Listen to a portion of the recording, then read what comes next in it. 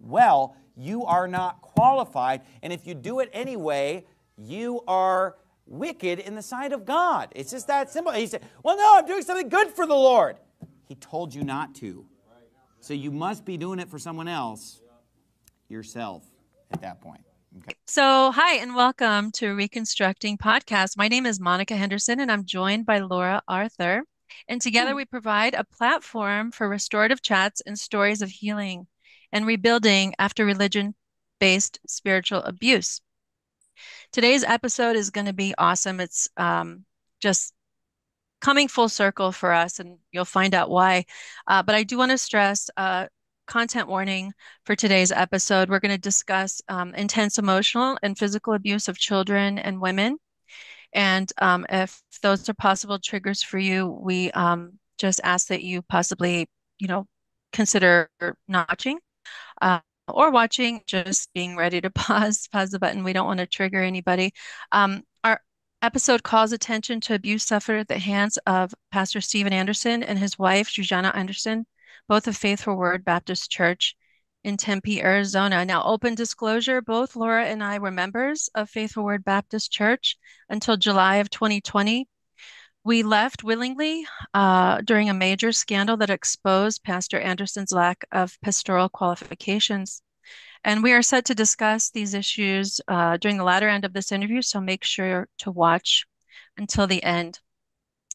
Um, several days ago, a YouTube video was released by a channel called Dead Domain, and it featured John Anderson, the 19 year old son of Tempe, Arizona's notorious NIFB pastor, Stephen Anderson. In the video, Stephen Anderson's adult son details for the first time the cruel treatment, cruel treatment and physical abuse he and his siblings have suffered since childhood at the hands of his parents. As of last night, that interview has garnered 40,000 views. A couple days after that, he released another video uh, on the Preacher Boys podcast, also on YouTube, as of last night, that video has 5.3 thousand views and it discussed um, just in depth more of his testimony and his story of survival. Now, if you've never heard of the New Independent Fundamental Baptist Movement, the NIFB, as we're going to call it, here's a flash primer. Per Wikipedia, the NIFB is an association of right wing King James only independent Baptist churches that began with Stephen Anderson of Faithful Word Baptist Church out of Tempe, Arizona. Faithful Word Baptist Church, with Anderson at the helm, as well as some of its affiliated congregations, have been embroiled in controversy over the recent years. Four years ago, a scandal rocked Faithful Word Baptist Church and its congregants, and this scandal openly questioned Stephen Anderson's pastoral authority. Today, we have the awesome privilege to speak with John Anderson, uh, and this is his 19 year old son, third in line out of 12 si siblings. And we are so privileged and so happy you can be here with us today, John. Thank you so much. Yes, thank, thank you. Thank you. I appreciate that. Thank yeah. you. So I just wanted to um, just put a couple facts about the National Children's Alliance that reports that an estimated one in four girls and one in 13 boys in the US are estimated to experience child abuse. Child abuse can be emotional, physical, and psychological. Laura, did you want to ask any questions before we start? Oh, yes. So I wanted to right off the bat, we wanted to just ask you a couple questions. Are you a Christian? Are you yeah, a Christian? Yeah. John? Okay.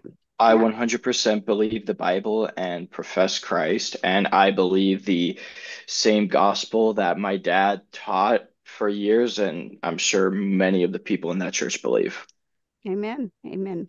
Mm-hmm. So, um, this one's I'm just asking some hard questions for you to get it out of the way. Are you on drugs or have you been no. on drugs? No. Okay. I'm not. Yes. Um, I kept seeing that in comments and I think that and then I heard from some extended family members that cut contact with me that my dad called them and told them I was on drugs. And my brother told me that my dad asked him if I was on drugs. And my brother, my friends, everyone my dad was asking was like, no, he's not on drugs. He doesn't have drugs. I do not use drugs. I am not a drug user. Yeah, and we absolutely I, believe that. We just want the world to understand job, this as well. My job drug tests. I couldn't. I was gonna say you have a job yeah. that is, is right. if people are questioning, they can know that he is currently employed right. with a job that drug tests him on a regular basis. There is no yes. question about his sobriety. We got that. Not sure Good where job. that got started. That is just my dad well, it's, railing it's in an effort to, to discredit me. Exactly. So, and the third thing that we really want to get out there is did you did you attempt to contact other pastors or other people within the NIB movement leaders before you went to, I believe his name is Jordan mm-hmm. and Preacher yeah. Boys, I don't know, Eric. So so what happened with that was when this all happened, it was obviously very conflicting and it was something I prayed about. And eventually the decision I made was that it wasn't out of spite for my dad or wanting to get revenge for my dad. It was out of understanding that he is not somebody that belongs behind the pulpit. He is not somebody that belongs having an audience because he has so blatantly disqualified himself for multiple different reasons, which we'll get into later. But he is somebody that has always professed and always taught that public figures should be publicly held accountable. And people were saying, oh, well, you shouldn't have aired out family dirty laundry. Well, mm-hmm. there's family dirty laundry. And then there is him doing things that are illegal and violent and go blatantly against the standards set forth in the Bible because people should know the kind of church that they are taking their family to. People should know the kind of pastor that they're getting marriage and parenting advice from. So I did approach four Baptist pastors, three of which identify as new IFB, and none of them would speak about this. Um, one of them, two of them I contacted before going to Jordan, two of them I contacted after. Uh, one of them said, I said, "Hey, could you give me a call? I'm interested in talking to you about a situation." And I didn't give anything else. Like I didn't say anything else, right? I said, "Hey, mm-hmm. can I give you a call? I want to talk to you about something." And this is somebody that like I personally knew, and he straight up was like, "I'm not interested in talking about this situation." So he clearly knew what I was going to bring up. Right. So I texted him back and I said, "So do you?" Be-? I said, "Do you believe that somebody who has a long history of spousal and child abuse is qualified to be a pastor?" He never responded to that message. Um, another pastor didn't respond to my message whatsoever and then two of them just kind of like asked a couple questions. But uh, when i was like so is this something you're interested in talking about? Is something they never they kind of just like they were not interested whatsoever right, they don't want to touch that. And i and i experienced pe- a similar thing when we we had problems and we we had problems with harassment after we left from members and you know from some well actually from your your dad saying some pretty and your mother also. Um so we reached out to pastors just by right. email you know just to have a conversation because we thought we could deal with it as adults and as christians right? And amongst ourselves. And we were looking for some kind of guidance and they told us similar. If they responded it was we don't want to touch it. We're and not involved. with... not our church not our problem even though these were people that we knew personally and had had gone to their church at time at one time too. So yeah. And with that was Jordan, disappointing. So yeah. Whatever opinion you have about Jordan as a person or morally whatever, the that interview is not him giving his opinion or anything right. like that. It is just him providing a platform and there's somebody with over a hundred thousand YouTube subscribers that provided mm-hmm. that platform. They're just mm-hmm. asking questions. All they were were a catalyst for me to tell my story. So it was good. It, yeah. Hey, maybe you, you should it. ask yourself the question of why no Baptist pastors were willing to mm-hmm. talk about him. Right. Bingo. Right. Yeah. Bingo. What was your intent in contacting them? Did you just want to talk to them one on one, or did you want them to feature you on their channels, or? So, so the first pastor that I contacted, it was with the intent of wanting to of asking for guidance on it because it was a pastor that I very much looked up to and I consider and I have gone to his church a lot and I considered him to be like my second pastor. You know, obviously my church that I was going to for my childhood was my dad's church, considered like a second pastor. So I wanted to talk to him. Um, and he had no interest in talking about it or providing any guidance or providing any advice. The other three I went to, it was with a thing of like, hey, is this something, this is something that should be talked about? Is this mm-hmm. something that you are willing to talk about since this is somebody you have publicly affiliated with and publicly promoted? Mm-hmm. Was this, were you already estranged from your parents at this time, or was it before that?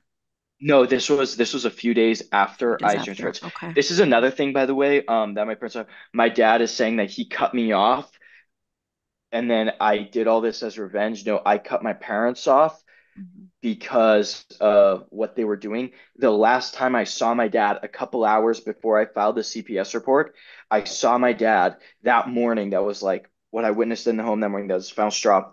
I was getting off work, and it was like I don't know. 8 a.m. or something. I'm just getting off work on my way home, stopping by. And my dad sees me and he's like, Hey, son, how are you? You getting off work? And it wasn't uncommon for me to stop by on my way home from work. And everything was cool. Then a couple hours later, he found out I was going to CPS and I had had a conversation with my mom, basically explaining, standing up to her and standing up for my younger siblings. And then he cut me off and then he was like, "Well, I don't want anything to do with you." But no, he did not cut me off, and it is as revenge. Okay. And we were was, on perfectly good terms prior to this. You said something there that um, you witnessed something that was the final straw for you before you went to CPS. Was there an incident of abuse that happened that you witnessed? Yeah, yeah. Okay. And um, so that was growing, that was recent for people who yeah, are, are growing, wondering if this is still ongoing because I think the other um, criticism is a lot of people are like, oh, well, that was then and now they're mm-hmm. better and what, you know, but this is an ongoing thing. This is not something that just happened and it has rectified some magical way. Um, so you the recently abuse, saw an it's not as bad as it was. Sorry, it's not, it's yeah. not as bad as it was, it has slowed down a lot, but it is still far beyond what is outlined in the Bible, what is outlined mm-hmm. by the law, and what any child should have to go through. And all eight kids in that home are not safe. And I have witnessed abuse virtually every time I have come over as an adult after moving out, as well as it was an ongoing daily thing while I lived there. Okay. Can you kind of retell what that instance of abuse was that you saw that that day? Just a um just just to get into it basically my mom was upset because she felt that my sister was like took too long to get ready in the morning and she started screaming at my sister insulting her attacking her calling her names right typical of most of us then she didn't like this attitude my sister and she started hitting my sister um hitting her in the face mm-hmm. and hitting her all over the body with a piece of wood and like yeah. Wow. Uh, not at all uncommon from her. And she, and the reason she said, and she kept giving, she gave the illustration of like, um, oh man, well, if your job tells you you have to clock in at a specific time, you can't clock in and then start getting dressed, blah, blah, blah. Oh my. And and I and it's like, well, your your kids aren't at work; they're at home. And if you make somebody feel like they're always at work, that is going to drive them nuts. Nobody oh, yeah. lives at work. That is that is a horrible way to look at things. That is so like what like like that doesn't even make it's sense. Warped, yeah. Right, but that is something warped. she's always had and that abuse that I witnessed that day was far from the worst I saw and it was something I just slowly slowly came to terms with over the years, noticing more and more that what my parents were doing was not biblical, was not legal and was evil yeah. and sadistic in a lot of ways. And then I don't know what I don't know what it was that morning, but I got home and I I called my mom out on it. At that time I was like, "Hey, what are you doing?" And like we got in a bit of a fight, and I got home and I I sat down and I spent hours trying to rectify in my mind, trying to make sense of any possible way because you want to believe your parents are good people of how a good person and how somebody that was not completely deranged and twisted and evil could have done the things that I witnessed both of them do my whole childhood. And finally, I came to the conclusion that did work. So I called my mom and I said, "Hey, we need to talk. Like this is serious." Like, and I basically wanted her. I wanted to give her one last chance to give me any indication that she had any remorse, that she was willing to change, that she could change, that she was capable of being a better parent, being a better person. And she told me to go f myself, and I said, "I will call CPS then." And she said she didn't believe me. Uh, my dad called me, and then I was kind of hoping that maybe maybe he'll talk to me. And like, obviously somebody at that age after doing this for over 20 years they're not going to change but i was just holding on to that last little bit of hope and then my dad called me and i said dad like can we have a conversation about this you know like two adults be respectful to each other within 30 seconds of me talking he was screaming at me telling me to go f myself and I mm. got off the phone and that was the closure I needed. And it was the hardest thing I have ever had to do. But I went and I called CPS because they had had warning after warning. And both me and my older brothers, as adults, would bring stuff up to my parents like, hey, why'd you do this growing up? That wasn't right. That was abusive. That was wrong. And my dad would always, his approach was always like, yeah, like, cool, whatever. My mom very much wanted to have a relationship with her adult kids. So she would be like, oh, I'm sorry. But she never took responsibility. She always blamed us, blamed my dad, blamed others, and never changed. And I, and it was like kind of reached the point where it's like, you're not really sorry. Because if you were sorry for abusing me when I was six, seven, eight, nine, ten years old, then you wouldn't still be abusing your six, seven, eight, nine, ten year olds. Right. So that shows to me that there was no remorse. She was not sorry. She had had enough chances. Both of them had had enough chances, and now it is time for them to face the consequences of their actions. Yeah. I, I have a question, and I was wondering this pretty much the whole time after you came out with your story. Do you know if your parents were abused or neglected as children? Do you know any of their history? Um, my mom, yes. Um, that's something pretty personal to her, so I don't I don't necessarily I'm oh, not necessarily gonna yeah. blast it all over the internet, but I know my mom was heavily abused in a lot of ways growing up. Um, my dad, on the other hand, I think he had a loving, good childhood as far as I know, and like I've spent a lot of time. I've lived with his dad, mm-hmm. and I've spent a lot of time around both of them, and for as much I, I think I think right to the best of my knowledge and from talking to my dad's siblings that they were loving good parents who provided a good christian upbringing towards him yeah great thank you for answering that did it i, I know you folks you your family lived in a pretty small house close to the church for many years mm-hmm. and i always wondered because I always complain my house is too small. There's seven of us, and it's about almost 2,000 square feet, and I'm complaining all day how small it is but I would always think, well, if they can live in that small house with 10 people, we can do this, right? So I would always go back to that. Um, did that was that torture for you living in a small space with all those people and all that anger?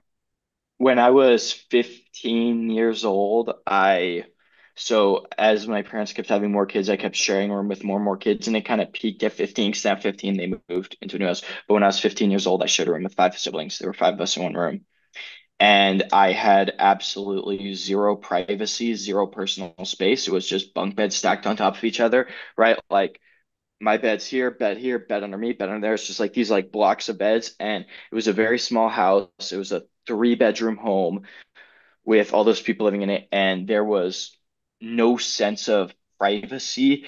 There was no sense of ever being able to get away from what was going on. So right. there was all this intense anger and abuse happening and then even when it wasn't directed towards you, there was no way to get away from it. There was no way to clear your head. We had a shed in the backyard. Um, it was an unair conditioned shed, and it gets very, very hot in the summer. And I spent hours and hours of my childhood sitting in that shed in the extreme heat. And I like set up like a couple of camping chairs, and I had, and that was like my place to hang out and it was very very uncomfortable like i had to like take my shirt off like dump a bucket of water in because of just how hot it was being in a black unair conditioned shed out in the heat in the summer but it was better it was just anything to get out of that house mm-hmm.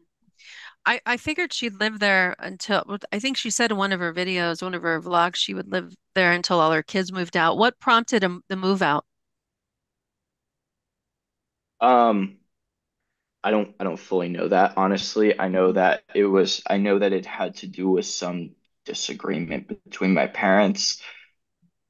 Um, and it was kind of like I think my dad wanted to stay and my mom kind of was like just done living there. I I yeah. I again I don't really know fully, so I don't want to just get on here and speculate sure, sure. about that. Because I just know that my parents when they were like, "Hey, we're moving. We're gonna be looking for a new house." yeah, so John, as you were um, growing up, were all your basic needs met? Food, shelter, clothing, that type of thing? Um, somewhat. So as far as shelter, her kids, we were locked outside a lot. And in Arizona, if you live here, it's obviously a very hostile environment. It's a very unsafe environment.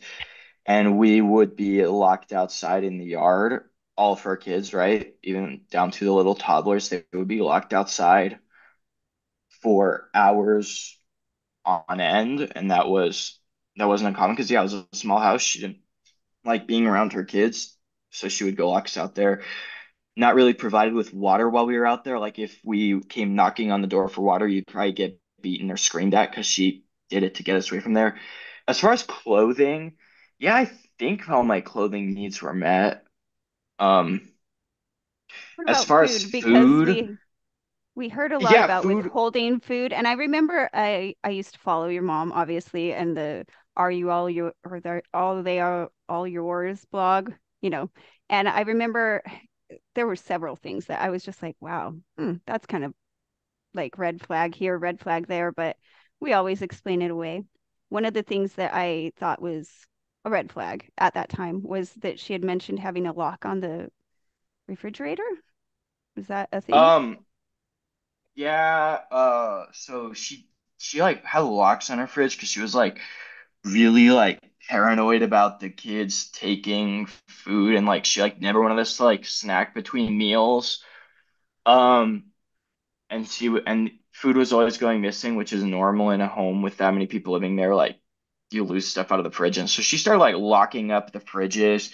And that's kind of weird and controlling. It's not necessarily abusive so, to put a lock were, on the fridge. You were allowed to have food and access but, to food. Well, yes, except food was withheld as a punishment. Okay. And that is something that, to my knowledge, is illegal. And from a moral standpoint, withholding food from a kid for a day, you know, a small child needs to eat, and it would be like, oh, you're having a bad attitude, you talk back, well, you're not eating all day today. It would be a full and day. That, yeah, full up day? to a full and day. I. What age I would that be, and how often and like like be? It was it was it's one of her more go-to punishments. Usually it would be making them miss a meal. Um, but I I'd say there were definitely times it was up to a day, maybe even longer that I'm not thinking of. But yeah, little kids like this was going all the way down to her four or five year old crying, going to bed, Mom, I'm hungry, and like, and she's just a hundred percent like, no, like you shouldn't have talked back then. You shouldn't have had a bad attitude. Go to bed. You're not getting dinner. Okay. That's heartbreaking, John. I'm sorry to hear that.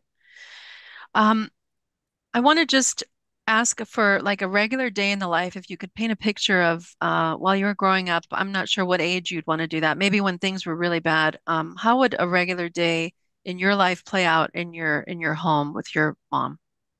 Yeah, I'd say the peak of the abuse was probably around like age seven to 11 for me. Um, and it was you'd wake up and immediately have like like a very very long list of chores to do. And, and again, like like I'm not saying all of these things are abusive, and maybe some people will agree with some of the stuff. I'm this is this is just yeah day in life. Uh, we had a yeah. chore lists. You'd wake up, um, do your chores. There wasn't really a typical daily routine, but it was we had a lot of chores to do in the morning and then we would like do schoolwork or watch our younger siblings in the morning until lunch. Then after lunch, or no, it was more like we were typically more like watching our siblings during the morning and then doing schoolwork in the afternoon. After lunch, after like the little kids went to nap.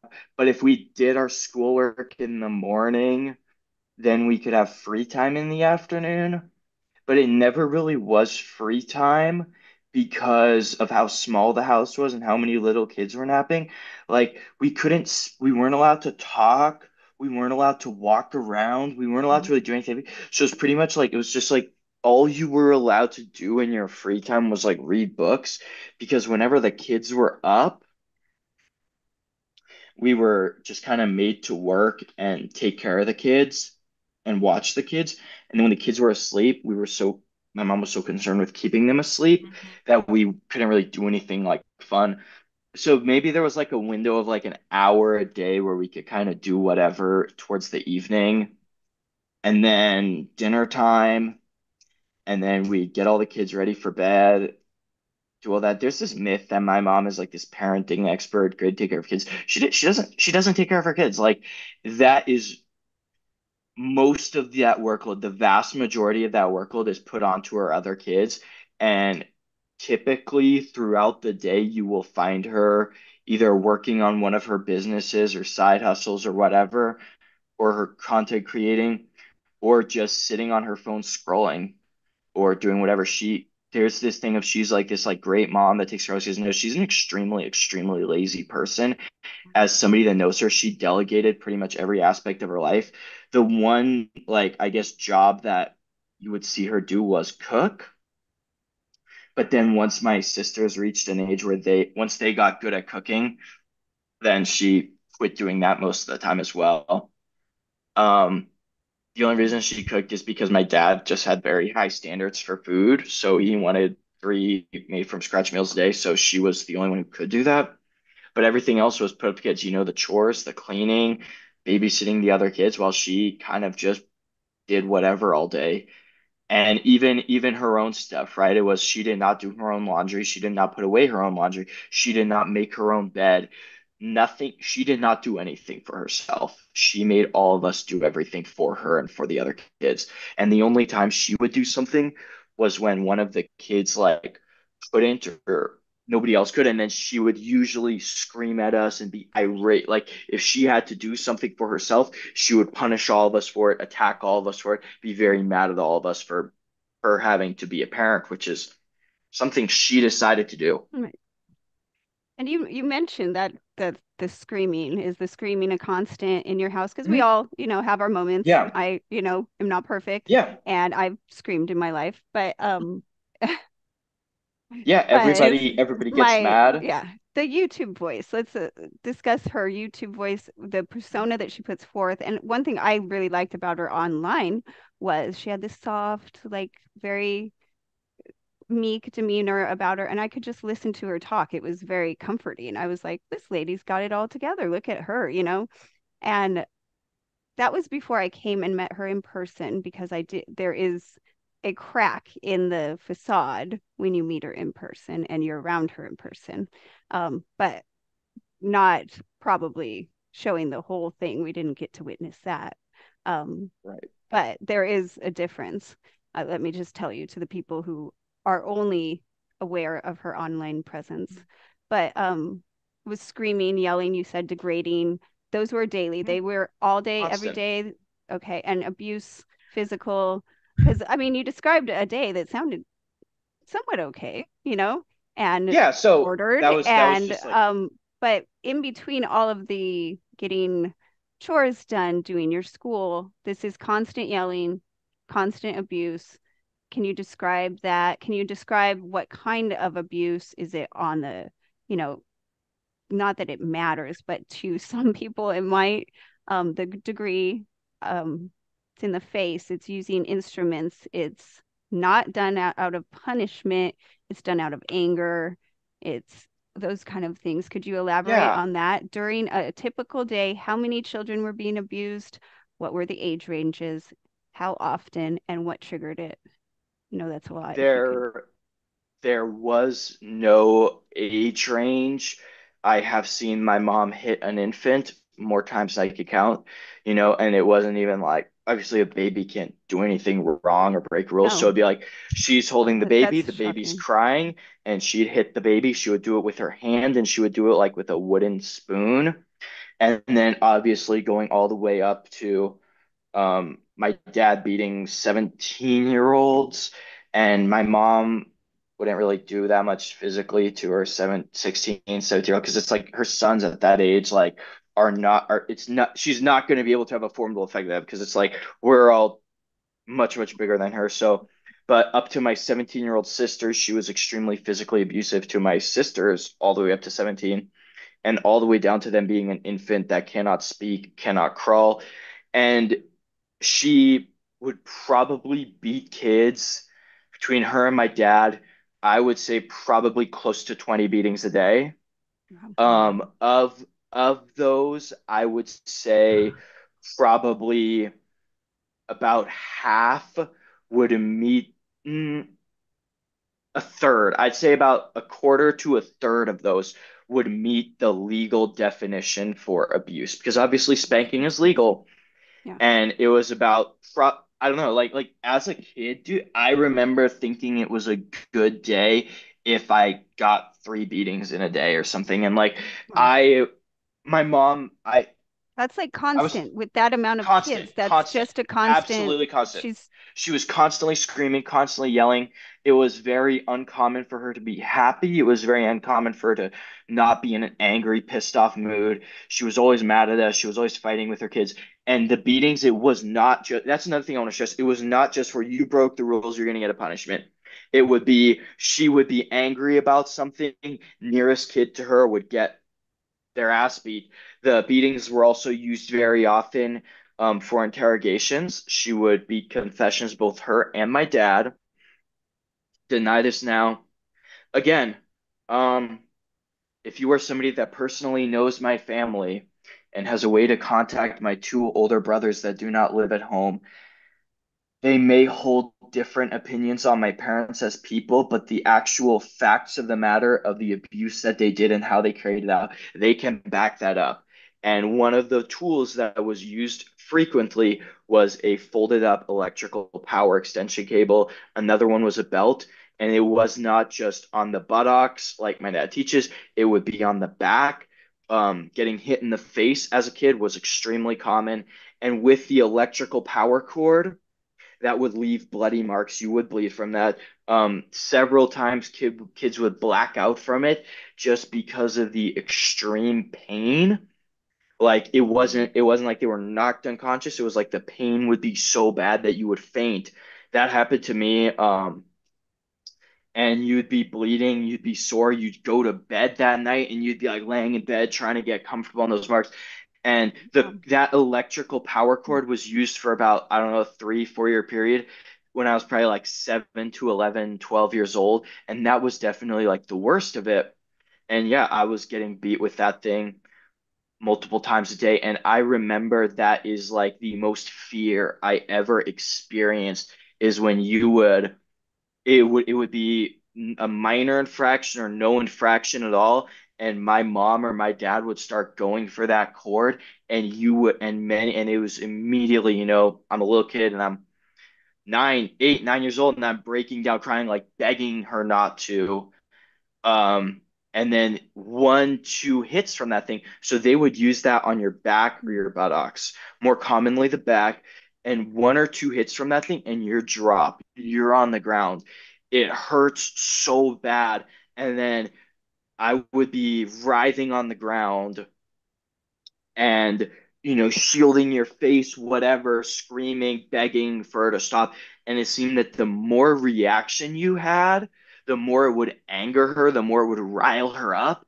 And she is a psycho and she would get mad and she starts screaming raving and just beating the absolute just beat, beating these kids my dad and my mom both more times I could count would say I will beat you would threaten to beat us within an inch of their life and it very much felt like it. And as a little kid I very much was constantly afraid for my safety constantly afraid for I remember laying in bed at night paranoid that you know they were gonna come in there and because we were pulled I was pulled out of bed multiple times or was like pulled out of bed start getting beaten just to get you to admit to something and these beatings were very long. They were it was not at all the punishment matching the wrongdoing. And in many cases it was no wrongdoing at all. It was just my mom getting triggered and freaking out.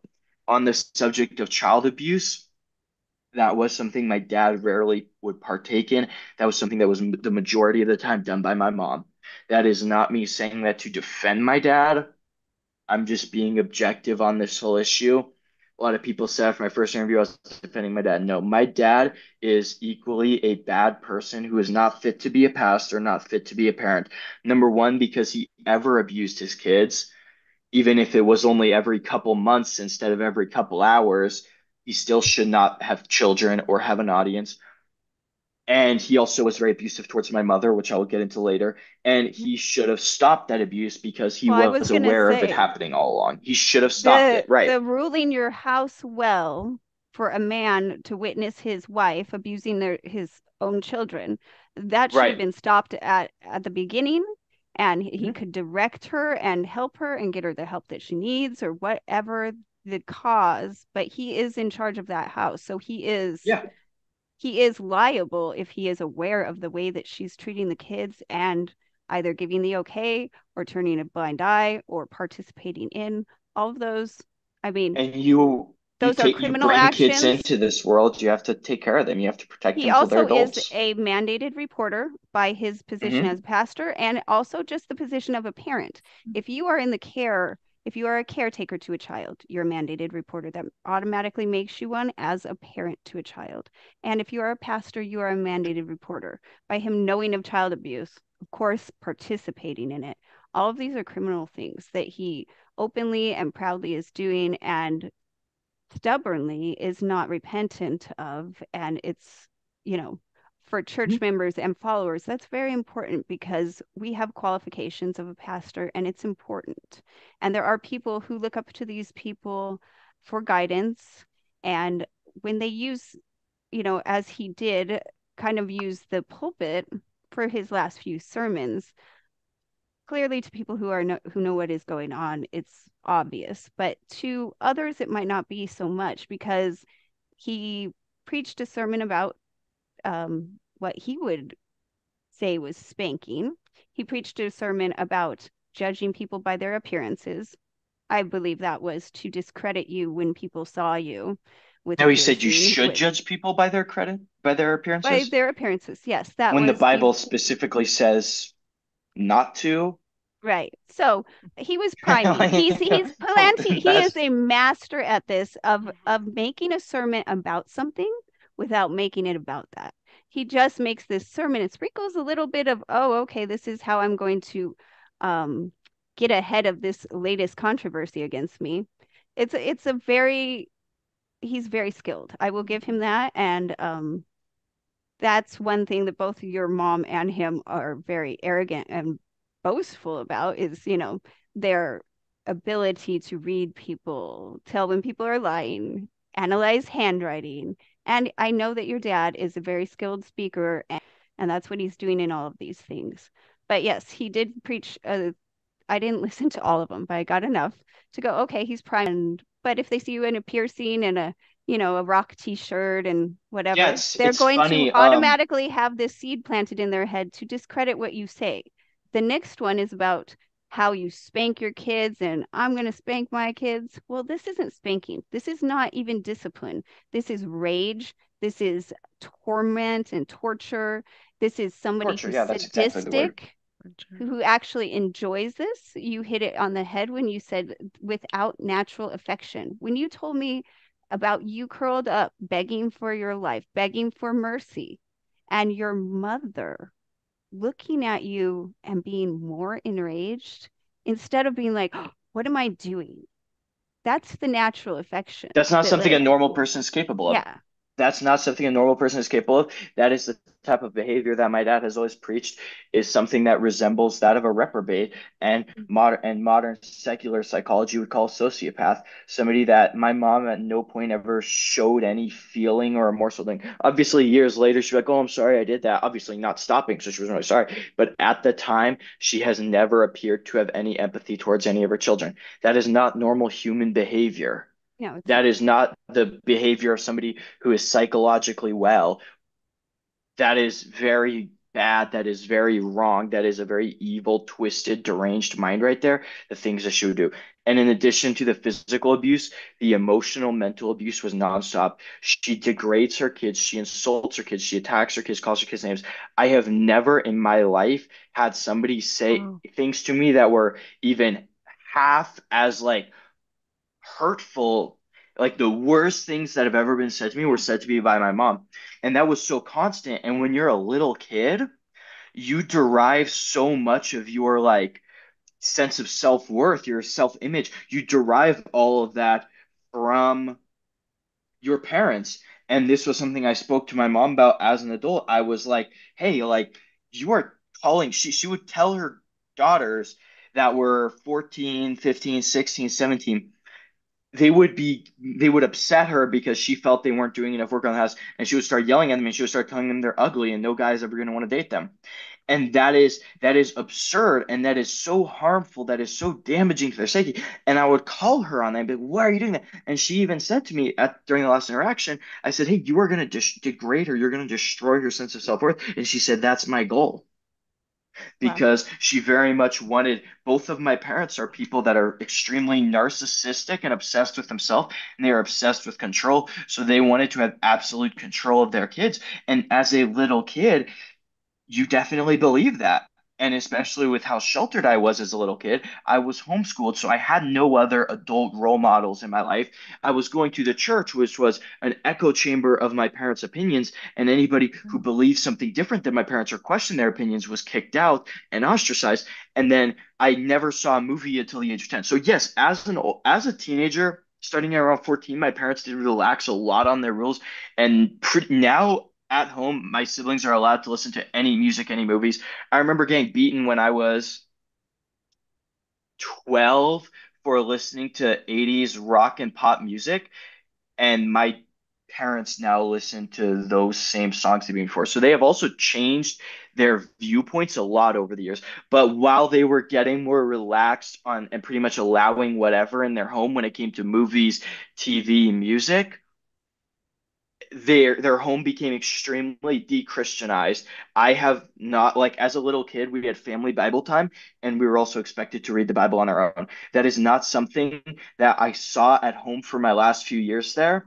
and that is not something that i have ever seen or witnessed and i've asked my siblings and that is not something that, so their home it's what's what's interesting is like they're preaching this high standard of morality but mm-hmm. my parents home was slowly becoming more and more and more de-christianized and obviously i think that they should be kids should be allowed to just like listen to regular music or watch regular movies within moderation within reason but they changed that opinion vastly over the years, but they were constantly, they never stopped the abuse. So at the point it is right now, my siblings are not being held to biblical standards or even like my little siblings as young as like 11 12 are watching r-rated movies at home listening to explicit music which is stuff my dad will publicly go against well, and they're I being allowed to do that but that's something that the congregants and the public would would be interested right, in knowing right. that, that, because that he preaches a, a very high standard and i can tell right. you as a congregational member we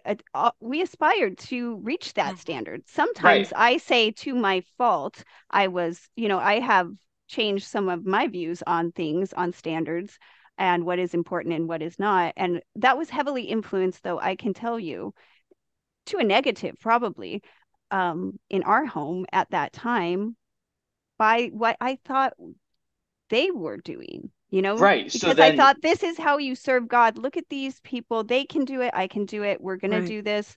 And we were very strict but then so we think of course at home they are as well in the same way. They also preached against all of this kind of child abuse. Like i heard it like he would say yes you spank but you never use this force. You never do it out of anger. I remember him preaching a whole sermon with um, one of the children on his hip and i thought how endearing that is. And this family has it together mm-hmm. you know and going by biblical standards. But I think a lot of people would be very interested to know that not at, at home, there is no standard of music of actually watching these even to r-rated movies that's even extreme by worldly standards for children right. you know and i i know that you uh, mentioned it during your teenage years there was a really lack of supervision for you so there were days at a time when you were gone and off doing whatever and your mother father did either not care or was this against their rules or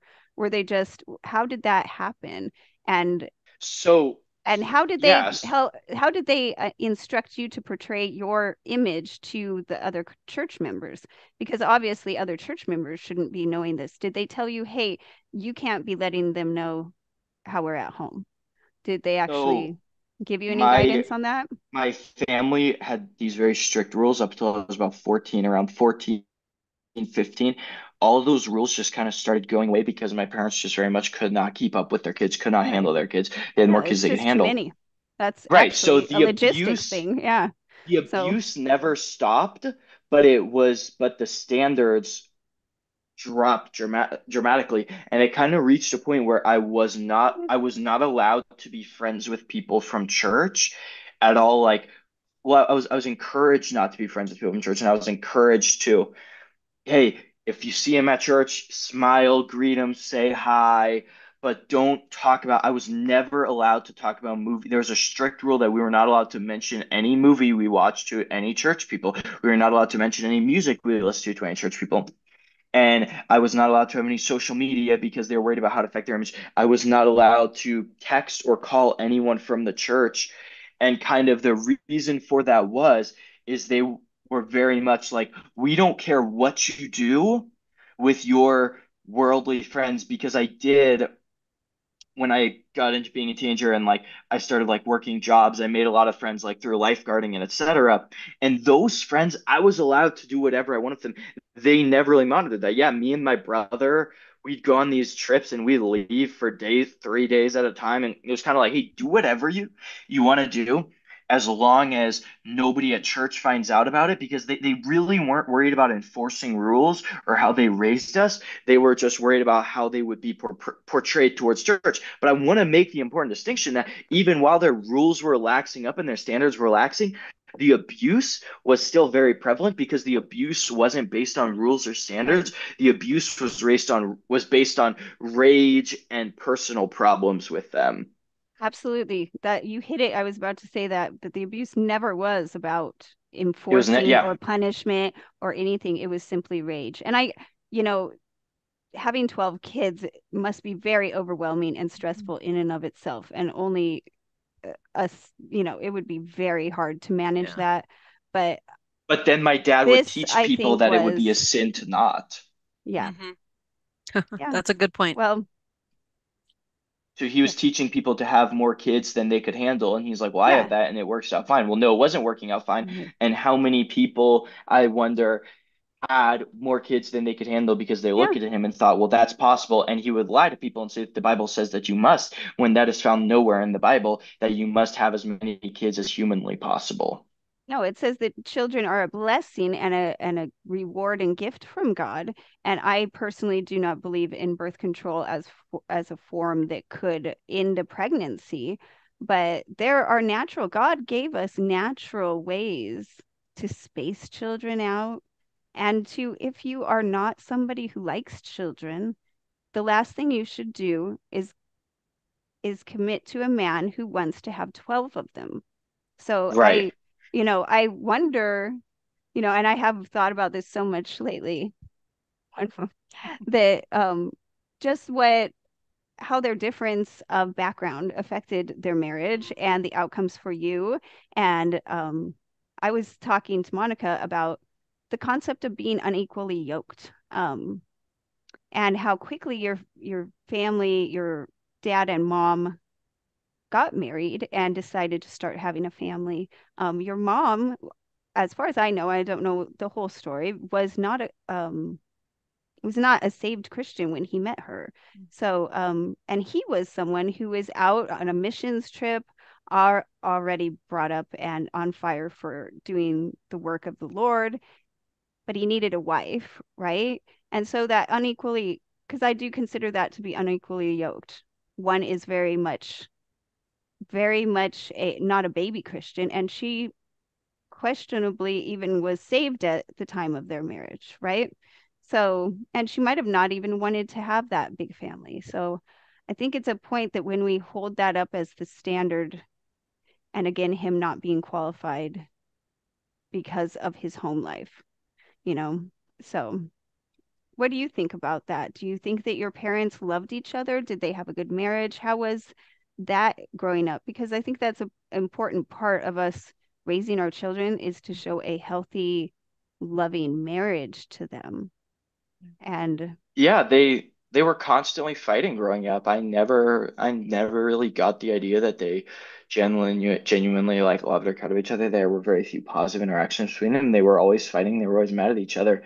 And kind of something that's interesting is later when I was an adult, my mom decided at one point, uh, a couple months after I moved out of the house, that she wanted to get a divorce from my dad and she wanted to separate from him. And she wanted to press charges on him for years of domestic violence. And i'm sure this is something she'll deny to my dad but i guess my dad he can ask my other siblings because she went to her five oldest kids and basically 12 of them was like trying to paint this picture of my dad being a bad person, which obviously he is, but she wanted us to go to court and testify against my dad for spousal abuse and child abuse. And, and she told me, and we, and the kind of what the what the same thing always told her was like, well, if you want us to go to court and testify, we're going to testify against both of you guys. You can't expect us to testify against one parent and not the other, especially when the acts of child abuse you committed were objectively much worse and much more common. So then my mom, she told me, she said that within her first week of marriage or month of marriage or very soon after marriage, she said it was he was so abusive towards her that she wanted to kill herself. And I said, and that was before you were even pregnant with Solomon. And she said, yes. And I said, so then why did you bring 12 kids into that relationship? If she was alleging that he was physically abusive from day one, then it's like, yeah. well, why did you make the decision to bring 12 kids into that relationship? Because if you've been married for a month and you don't have any kids or somebody, it's not that difficult to get out of that. Obviously, emotionally, mentally, it's very difficult. But like physically speaking, right. she could have gotten a divorce somewhat easily, much more easily than now when she has 12 kids with him and has been married to him for 20 some years and now is not does not really have a way to support that family on her own. So eventually she kind of dropped that issue because none of my siblings were willing to testify against my dad without testifying against her as well. And she uh, obviously does not have the financial means to support that many kids because she has not ever worked a job in America, has not been in the job market since the 90s then she really can't support the kids. Yeah. But my mom very much hated my dad. She she oh she, she told me this like on multiple occasions years apart about how often she would pray that he would die because she felt like that was like the best outcome. She's like, well, if he dies, because the other thing was she didn't want to discredit his ministry. Mm-hmm. So she was kind of hoping he would die before anything came out like it is now. So then that way he would die, whatever. She wouldn't have to deal with him. She would get a life insurance policy. She she she told that to multiple of my siblings. Like, and my dad, even if he's gonna watch this, he remembers. I remember them fighting because she said it to his face one day. Well, dad, she kept saying that for years after, and she would tell it to me about how she prays that he would die so that she wouldn't have to deal with him more. Now, my mom was very physically heavily abused. I guess that segues into that. Is yeah, my dad um, my mom says that the abuse started at the very beginning of her marriage and it was kind of in the sense of when they would fight he would hit her you know a punch a slap whatever. But for a several year period kind of concurrent with when the child abuse was at its worst my dad was very abusive to my mom in the sense that it wasn't just it was it, it wasn't even like he got mad, lost his temper, and hit her, it would be he used the same electrical cord on her that he would use on us. And it would be like, well, you disrespected me. You talked back to me. He very much, my dad's an extreme narcissist, extremely has a God complex. Mm-hmm. He never does anything wrong in his mind. I've never once heard him apologize to like one of his kids or to my mom or anything. He, he, did what he did and was not sorry, could never be wrong. Nobody could ever question him and he would then beat my mom with the electrical cord of like okay well you're going to talk back. And he even i guess had some kind of a system for uh, he had like a system of like this infraction is this because i remember this one day he was like tallying it up because he like couldn't do it at the moment. He's like well that's He's like, I'm gonna write this down. Three more for talking back, five more for this one, and just like, and then he would beat beat her very very badly as well. And like that electric cord left these really wow. bad marks. And I remember seeing those same marks on my mom. And yeah, that was something he did for years. Now, to all of the people that say, oh, your mom isn't bad. She was just in this abusive environment, so she was abusive as well. I am I am sure that my mom's abuse she endured as a child and the abuse she endured at, from my father are a large contributor, if not the reason why she was abusive to her children. But every adult is responsible for their own actions. And it doesn't matter what made her an evil, sadistic person, she is still an evil, sadistic person who deserves to be punished for what she has done. She deserves to go to jail and she should not have access to her children. It's unfortunate that she became that type of a person because she was abused, but that does not make her any less guilty or any less somebody that should not be trusted with children and should but face the consequences of their actions. My dad, I know, had a meeting with members from his church where he addressed these allegations basically because people were asking him and he denied it all. He said that he has never hit my mom. He said that he has never um, hit my siblings in the way I'm telling the story now.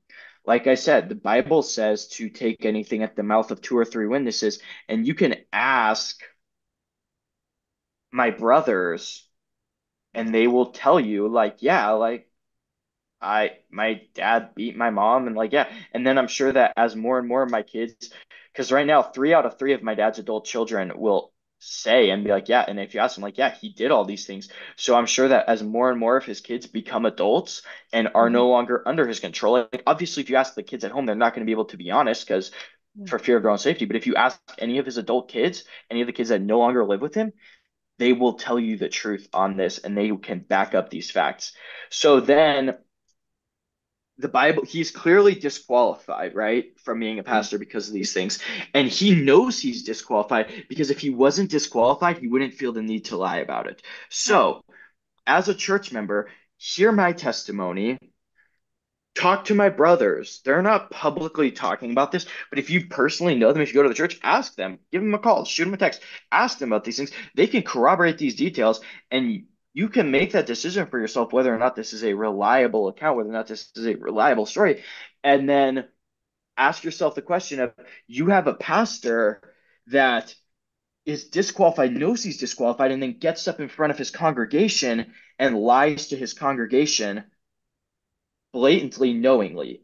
My dad knows for a fact he beat his wife for years. I know for a fact he beat his wife for years. So the fact that he is willing to lie to his congregation, then that begs the question of, well, how much of his message does he really believe? Because the Bible clearly states, and he has mm-hmm. clearly preached many, many times about the kind of curses that God puts on somebody oh, who, as a man him. of God, knowingly lies last night last night he literally said it was a another veiled um sermon with a couple little nuggets thrown in there for you and, and it, it, was it was threatening you know that you should fear god he's you know yeah whatever and my dad has no my dad has no fear of god you should I, fear god he's gonna kill you and i I, I. I remember what you had said that he told you all his life or all your life that you need to God's gonna strike you dead. Like yep, my, my dad would tell me that God minor would kill infraction. me if I did things bad. But I texted my dad. This is like the only thing I've texted him is I sent him after that meeting. I said,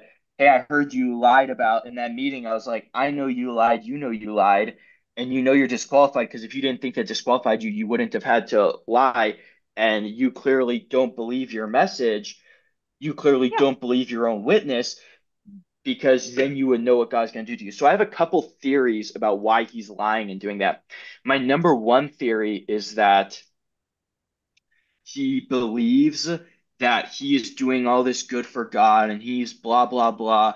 So he's like, well, if I don't lie to the congregation, it's going to do more harm to God's cause in the end because of the fact that he's like, it'll it'll turn people away from Christ. So he's like, I'm doing the right thing for God by lying. That's what I think the most. But but his preaching, I think very much. Turns, he preaches yeah, he preaches wrong, wicked, absurd things that are not in the Bible and then says they're in the Bible, and then that makes Christians look really bad and makes the Bible look yeah. bad. When he preaches and has numerously times preached that it is okay to rape somebody if you're married, and that it's not rape if you're married and all of that and that is an absurd thing to preach and then that makes christians look bad all of those mm-hmm. other things he teaches he has his blatantly misogynistic blatantly sexist views and my dad claims to be neither of those things i will tell you as somebody who knows him extremely well he very much is a misogynist and a sexist and my mom not my dad my dad's not a racist but my mom openly admits to being a racist to her kids.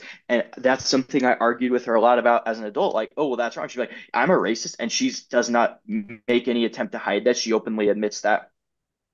So I think that that's my number my, the number one reason why I think my dad lying. Number two reason is if he truly just does not believe anything that he says, and he's just a plant of the devil to discredit Christians and make Christians and Baptists and fundamentalists look bad.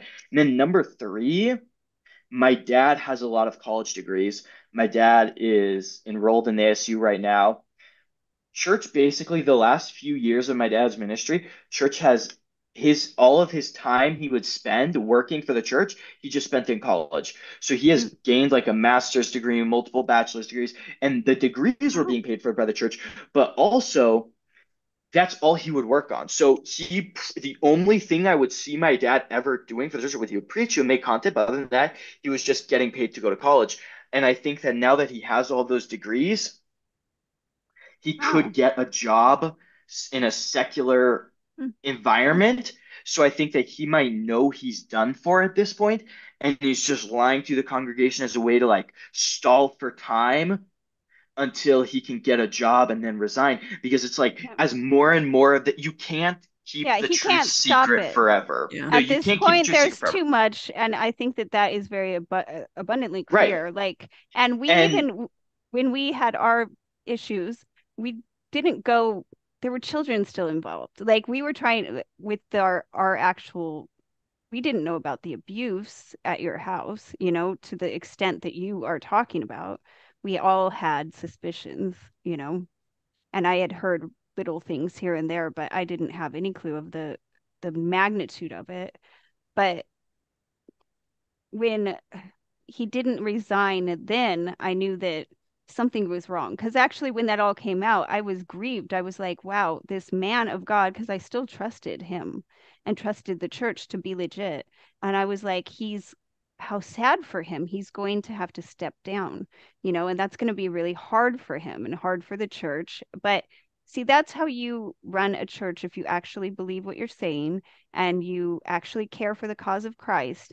When something comes up you handle it with biblically and you humble yourself and you say at this moment i'm not qualified to run this church anymore. I step down someone else steps in. And the cause of christ continues and it's actually honored because you're honoring the bible. So what he is doing and the people who think that it's hurting the name of christ for you to come out and be truthful and for something to happen to him it's actually honoring God, you know? So yeah, and and I think that that is I want to make it very clear that I believe there are a lot of good people in that church and in that movement and I think that my dad deceived a lot of people about the kind of person he was and he garnered that big following but I think that I think that what's going to happen with this is it is going to sort out the good people from the bad people. And I think that he has attracted a lot of people that are abusive and narcissistic like himself. And that's why they like his church. And I think that those are going to be the types of people that stay in his church. And then the people that leave are going to, people that are good people that can see that this is, is wrong are going to leave. And then I think that if the church doesn't, you know, remove him as pastor and get a new pastor and begin healing, then I think that the church is just going to go downhill very quickly. Yeah and well, God and is not going to bless time, an unqualified pastor. And absolutely. another another issue, by the way, is somebody just asked me about this, and like I forgot about this, but my dad is like publicly attacked pastor and says not valid church or valid pastor if you're not ordained.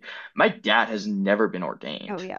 That's always been a controversy, like I think. Yeah, yeah, no, no. So he's never been ordained, so. and he has publicly attacked a lot of people for being ordained, and he never had a public ordination but he claims that his pastor in a private one-on-one conversation right. ordained him. Yeah.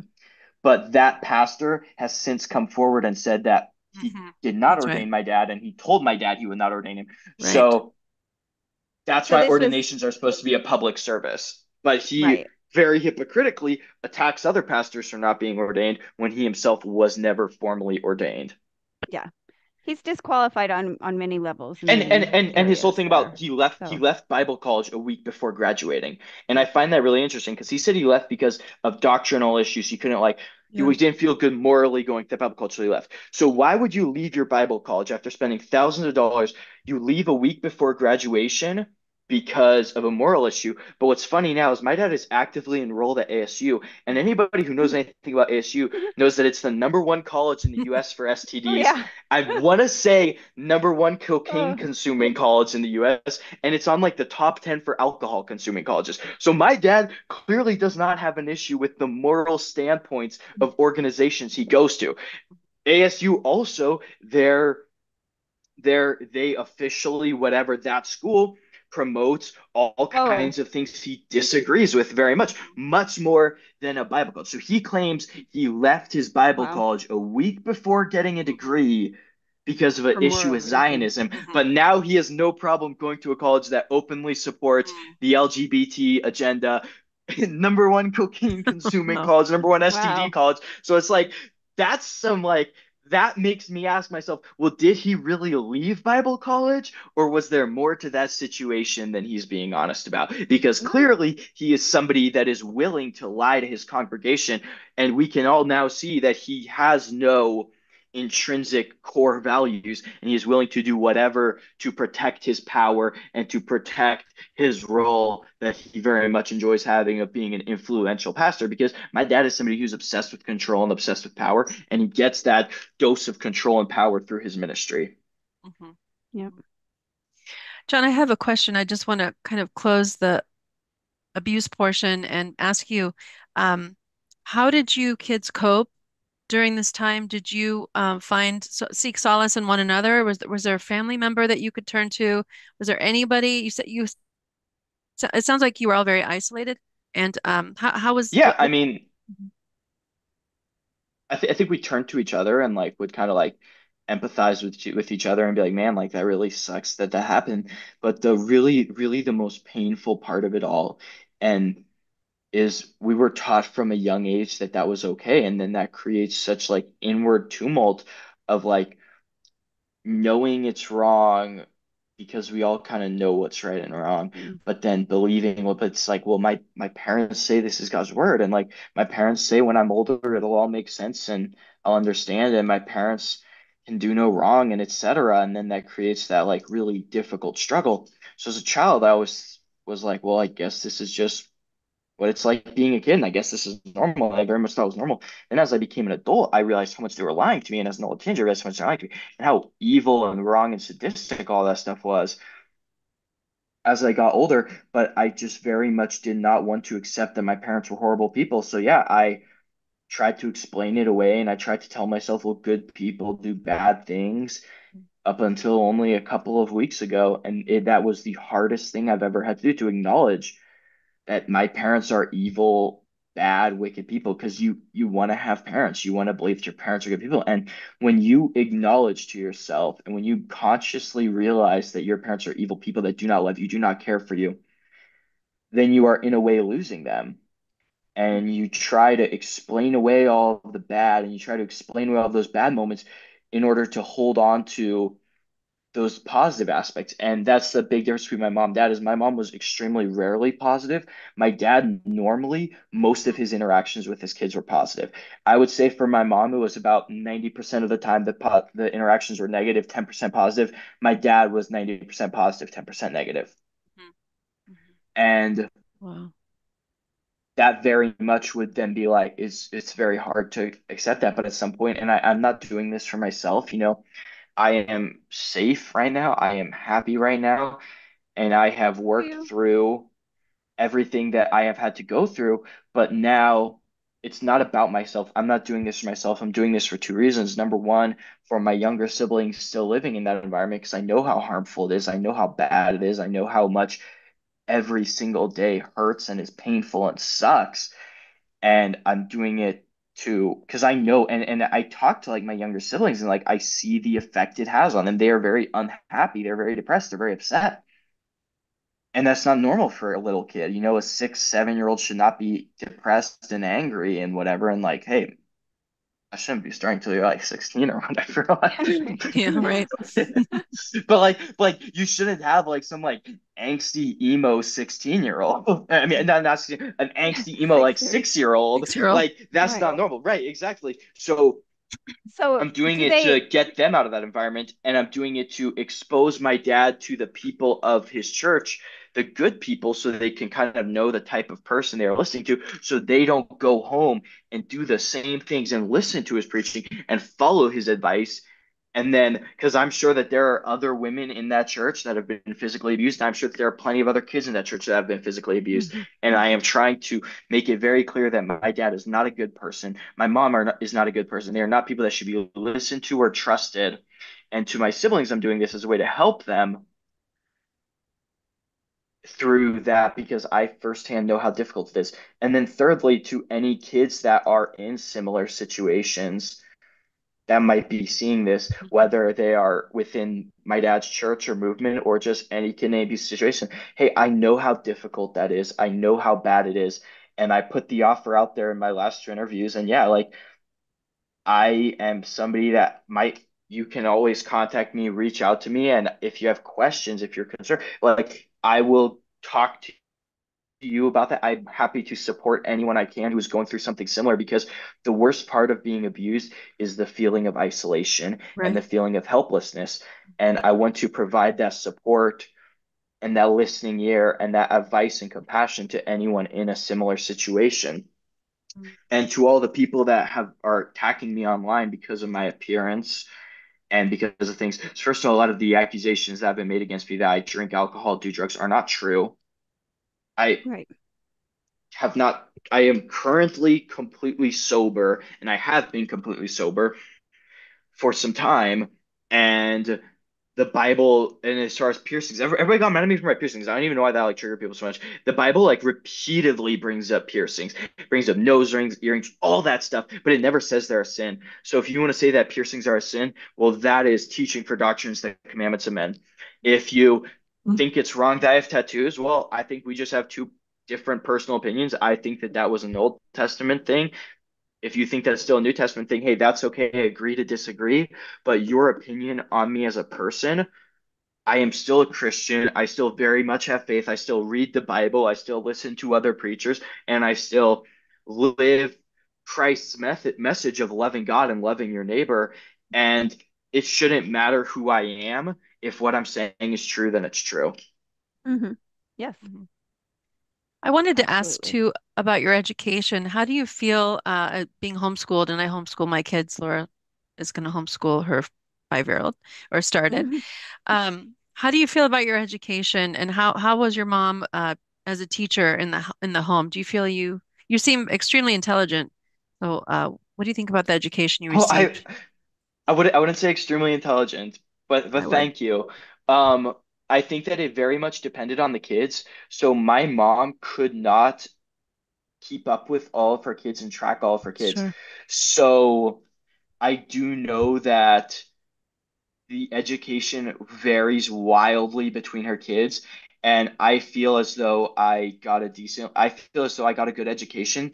When I was 16 years old, I was enrolled in college with a 4.0 GPA when I went to a um, higher education after that in the medical field, that is something that I scored over 90% in the class, got a perfect score on my state exam. And, I, am not saying that to brag, mm-hmm. but like, like I feel as though I got a good education.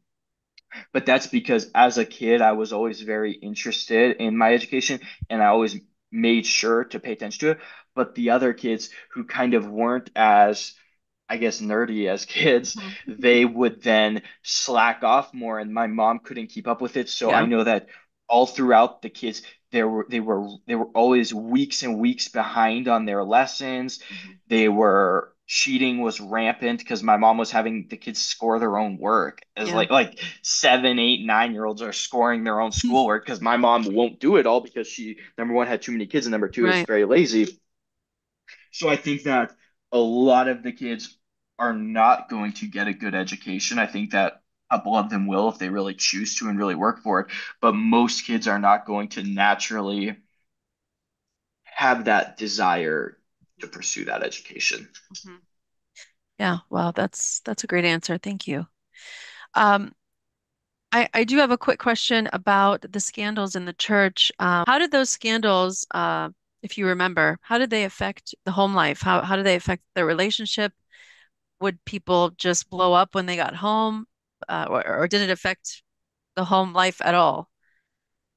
If you even remember. Um, that scandal obviously had nothing to do with my family, so I don't think that one affected my home life at all. Mm-hmm. People coming home and blowing up and being mad, well, that was constant. So like there wasn't like my mom's more mad than usual because of scandal. No, she was just always really mad, always blowing up, freaking out. Mm-hmm. Uh, my dad usually wasn't he wasn't like screaming, yelling at us on a daily basis. That was pretty rare. Mm-hmm. So yeah, that did, that type of thing that didn't like have an effect on the family wouldn't really affect us. But I know that one thing that was like really triggering to my dad was if he felt we were making him look bad to the church. And that would be something where like if we did something wrong and church people found out or church people complained about us, we got absolutely smoked at home because he was very interested in preserving him his image. So if it was a scandal that at all involved us, had to do with us, yeah, we we paid for it big time. We we got hit pretty hard for that. Um, if it didn't involve the family, then it didn't really have that much effect. I don't think. Mm-hmm. Mm-hmm. Thanks for answering that. Um, so the qualifications of a pastor, a bishop, I think First Timothy three one through five goes through I can, that. I'm going to screen share maybe, and you guys can see it. I have it. Hold on. I think this is important for the congregation and for the churches, his satellite churches, um, and for the people sitting in his church and listening to him and, and thinking he's he should be up there um, professing the word of God. Um, so First Timothy 3, 1 through 5 um, if a man desire the office of a bishop, he desireth a good work. A bishop must be blameless, the husband of one wife, vigilant, sober, of good behavior, given to hospitality, apt to teach, not given to wine, no striker, no not greedy of filthy lucre, but patient, not a brawler, not covetous. And I hate to say, but there are um, a couple things in here that your dad um, according to your testimony, is he is a striker. He is not patient. He seems to be a baller. He does not ruleth his house well. His children are not in subjection because of that. Um, I don't think it's by any means the children. I think it's the parents, obviously, by the sound of it. Um, what what would you what would be the perfect outcome based on your testimony if things were to move in a positive way? How would you want this to uh, play out in terms of your dad maybe stepping down, choosing somebody else in the church, maybe yeah, getting my counseling. my dad, my dad's completely unfit to pastor. Yeah, that's that's pretty clear. That's pretty apparent. And the thing about pastoral qualifications are, it's not a thing of, okay, well, I fixed this so I can be a pastor now. It's a thing of if you yeah. do them, you're disqualified. These are permanent disqualifications, and he needs to recognize that and step down as pastor. And if he is not doing that, then that is just showing that he is not in it for the right reasons. He is not in it because he wants to do the right thing for God, and he's not in it for the church. Because if he was, then he'd be following God's standards for it. He clearly is in this with other intentions and other motivations. Does he seek the um the advice of uh, his deacons or of any of the gentlemen there that are within the inner circle? Does he uh, seek their advice or vote on things with them in terms of how the church runs? Or is he the dictator? he, he himself, he says that the church is a dictatorship and he's in charge and nobody else is in charge. Um, I don't know how much advice he gets from them behind closed doors, like I have brought up a couple of times in this interview, my dad is an extremely narcissistic person. So I can't imagine he puts that much thought or weight to the advice and opinions of others. Mm-hmm. Mm-hmm. Are your siblings still all attending? The ones that are living in the house, do they still all attend the church? I guess they'd have to, right? Yeah, they yeah they they have to. They don't have a choice about that. And how about your older brothers? Um, I believe Isaac is still attending. Mm-hmm. I don't believe Solomon is. I'm not 100% sure. Mm-hmm. Mm-hmm. And I I don't know the full situation with that. Mm-hmm. John, what what would you ideally want to happen right now um, with your testimony coming out uh, for the world to Man, see I, uh, with with the I'd siblings? Like, I'd like the government siblings. to do their job, and I'd like them to step in and intervene. Um, I understand that the foster care system is far from perfect, but I believe that as somebody who lived in that house firsthand, it is I was physically, emotionally, mentally abused on a, a very frequently on a daily basis. You know, I constantly had marks, constantly was in pain, constantly felt scared and stressed. And in the many stressful situations I have faced as an adult, which I have had plenty of that, um, I have never felt one tenth of the stress that I felt on a daily basis as living as a little kid living at home, and I think that that, you know, CPTSD and other issues that that can cause, I think that that environment is not a good environment for them. And as much as I would like to believe that, whoa, my kids can that not my whoa, that my parents can change and get counseling and get help, and as cool as that sounds, like let's be honest, if you have a couple people in their 40s that have been doing this for over 20 years, they're not changing anytime soon. They are who they are. Right. But yeah, CPS so, has been contacted and yeah. that is being dealt with on that end.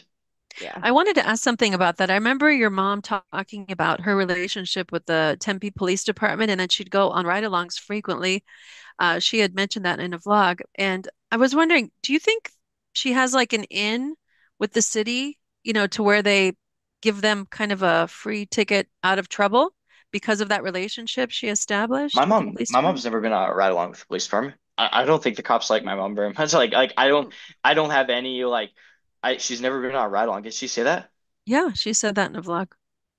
I, I, distinctly remember. Oh, it was years ago. Uh, when so I was part of the church, because I distinctly remember thinking, "Well, I want to, I want to do a ride along too. I want to yeah. get in go with these guys. I'll ride along in an ambulance." You, uh, yeah you go you go contact if you like go on like any like department's website, whether that's fire, EMS, police, like, and you want to do a ride along, you can request that. But my mom has never been on a police ride along.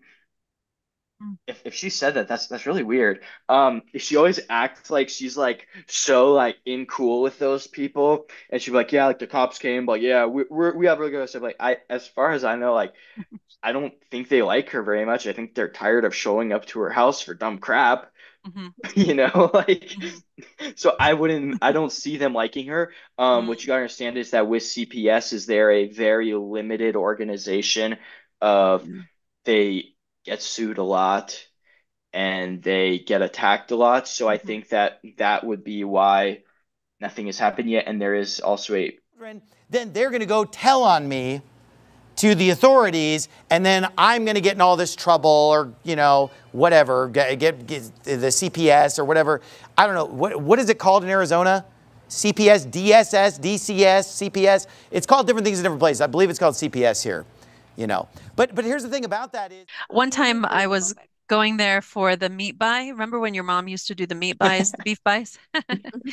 and he, here I am, like, I, I'm thinking, I for years I just said Zsuzsa can do no wrong. She is perfection. Hmm. I mean, I really thought she was like an angel. I, I she just was an angel to me because I did I wasn't on social media, so I didn't I wasn't privy to how she was with other people from within the church. She barely talked to me. I just thought, wow, her kids are just behaved. They don't smile very much, but they're well behaved, and you know the they, the husband and her seem to love each other. So I went there for to grab my beef and I think I had some some cookies or something for you guys in a game. And I'm walking up to the door. I'll never forget it because I came home telling my husband, like, I'm not sure what I heard. I heard a primal scream come out of your mom's mouth. I've never heard anything like it before in my life. It was that before sounds I like the, her. It, it was before I hit the door, and I thought, oh my god like am i walking into like a scene i you know i was i was scared no so, she's she's very wow. psychotic that that's pretty regular for her to just be screaming at the top of her lungs. I mean, at the top of her lungs, like like yep. bloody murder. Dude, it was it like would, bloody it would murder. Be so annoying to listen to. Just like, shut up. Right, I like, could totally see that. but that's kind of the break in the facade and that's that very I that's very physically triggering like to oh, like yeah. your body releases hormones and your brain has a certain physical response to that kind of stimulus and when you're having that on a constant basis like yeah that's gonna very much affect you yeah I could totally yeah. see that I came home I told my husband and he he almost didn't believe me he said it, it, it must, it's pretty it, unbelievable. It's pretty unbelievable. It is unbelievable that you have a grown woman in her 40s screaming at the top of her lungs. But no, that was a daily occurrence for her. She like screamed like ah, and it, like screaming your name and like what? She's like, "Get me a cup of water," and it's like, "My God, wow! You have two legs. Walk yourself to the water cooler." oh wow, yeah. Oh my. I wanted to, uh, Laura, if you wanted to discuss the fruits of the spirit, and then I wanted to oh, just ask John in the end one more question. Yeah, I did want to ask a couple more questions about just the emotional abuse, and I, I hate to keep going back to the abuse, but I do want these things to be something that followers of Zsuzsa and and Steven, especially Zsuzsa, because we're we were all looking to her as the perfect mother, and we're we were as mothers, our goal is to raise children who love the Lord, first of all, who love each other and who feel loved, you know, and who are safe. Those are your goals as a mother. And for them to be happy, you want that. But um I know that you have mentioned this, but I just want you to I'm going to ask you the question, did you feel loved growing up? And do you think your your brothers and sisters feel loved by your mom? How often did she say she loved you? Did mm-hmm. she hug you? Does she cuddle with the little ones? And then same questions for your dad. I I think that so for my mom, I very much did not feel loved. And I actually remember I had this, I remember I would go to, and my mom, me and my brother actually had this conversation of like who are like the kids who my mom dislikes the least, and we came up with three kids, me and one sister, one brother. We kind of like agreed, like yeah, those are like the three that always kind of like seem to get it the worst and like the most and personality issue. And like I very much was aware that my mom did not love me, did not like me growing up, and that's something I felt every day. And I remember more times than I can count, you know, crying myself to sleep at night, just thinking like, why doesn't she like me? Why doesn't she love me? And I remember I even had this thought of like as a little kid thinking about how long it would be till I was an adult and like how many years was till I was 18 and thinking to myself, okay, that's how much time I have left to make her like me. And this sense of anxiety about becoming an adult before I was able to like convince her to like me, convince her to love me.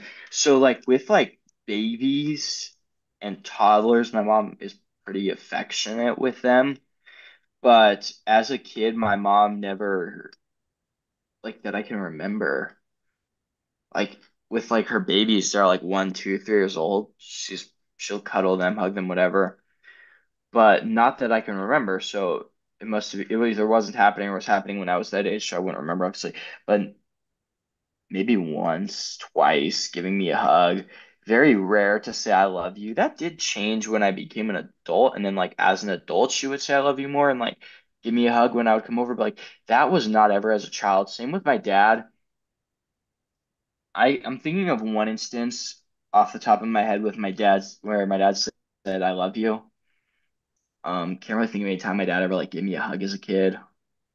Something like that. Uh I did I did feel like my dad actually cared about me more because like my dad would like ask me about my job, ask me about like when I was in college and other education. He would like ask me about that, ask me how it was.